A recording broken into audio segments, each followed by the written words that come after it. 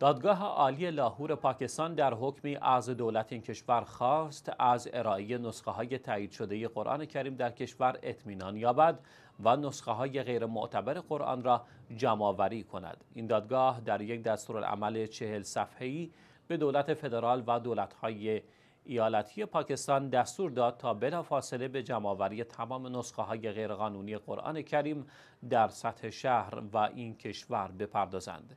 این تصمیم با هدف جلوگیری از انتشار نسخه هایی از قرآن کریم که تایید رسمی و دولتی ندارند گرفته شده است.